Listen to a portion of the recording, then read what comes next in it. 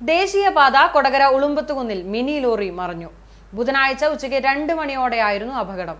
എറണാകുളത്ത് നിന്ന് മഞ്ചേരിയിലേക്ക് പ്ലൈവുഡുമായി പോയ മിനി ലോറിയാണ് അപകടത്തിൽപ്പെട്ടത്. ഡ്രൈവർ നിസ്സാര പരിക്കുകളോടെ രക്ഷപ്പെട്ടു. കൊടകര പോലീസ് എത്തി മേൽ നടപടികൾ സ്വീകരിച്ചു. ദേശീയപാതയിൽ ഏറെ നേരം ഗതാഗതം ഭാഗികമായി തടസ്സപ്പെട്ടു.